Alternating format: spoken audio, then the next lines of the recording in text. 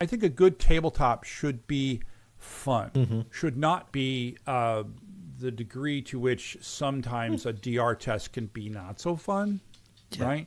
One of the things MSSPs also bring to the table, no pun intended, is tabletop exercises. Yeah. Right. And Curtis, do you want to talk about a little about what a tabletop exercise is? Yeah, so basically, we literally sit around a table and we define a scenario, right? You know, like you know, you just you just got um, you know, you just got attacked by this kind of ransomware. This system did this. This system did this. Now what do you do? And oh, by the way, Curtis got hit by a bus. So Curtis isn't available. What do you do? Right? And and a good, uh, I- I think a good tabletop should be fun. This is something you could do much more often. You by creating we we talk about creating an environment or a culture of of recovery, right?